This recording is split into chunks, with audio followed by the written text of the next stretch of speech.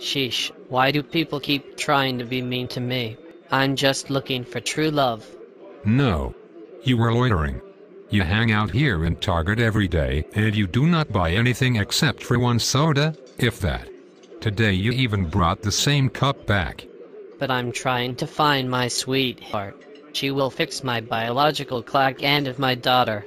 Look son, no one is trying to keep you from finding some lady friends, but you cannot keep hanging out here unless you are going to buy something.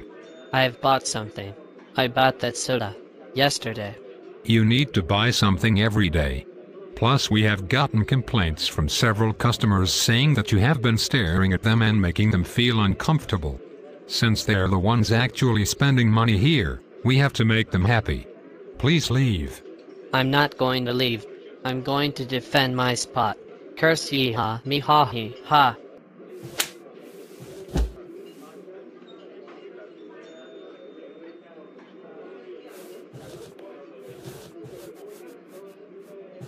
Ugh, I was hoping I wouldn't have to touch you. You smell like rotten cabbage and rancid body spray.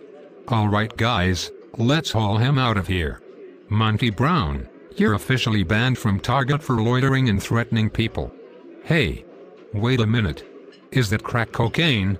Um, um, um, um, um, um, um, um, um, um, um. So what if it is? Okay, you're coming with me.